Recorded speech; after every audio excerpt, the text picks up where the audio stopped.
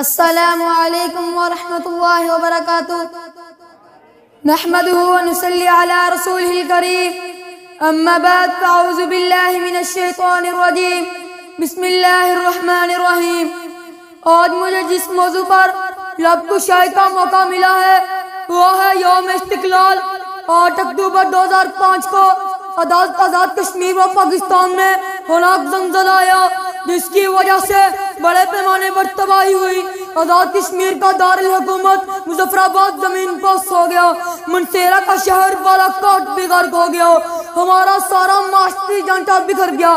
عزیز ساتھیوں کسی بھی تباہی کو پھر سے کسی اہم تبدیلی میں موت دینا ہی کامیابی ہے۔ مشکل حالات کا مقابلہ کرنا ہی انسانی عقل کا تقاضا ہے۔ حالات چاہے کتنے مشکل کیوں نہ ہوں ان کا مقابلہ کر کے بہتر نتاج حاصل کرنا ہی کامیابی کہلاتا ہے۔ حضرت ساتھیوں کشمیر قوم نے اس سانحے کا بہادری سے مقابلہ کیا۔ آزاد کشمیر میں اقتصاد کے ڈانچے کے ایرا اور سیرا ادارہ قائم ہوا۔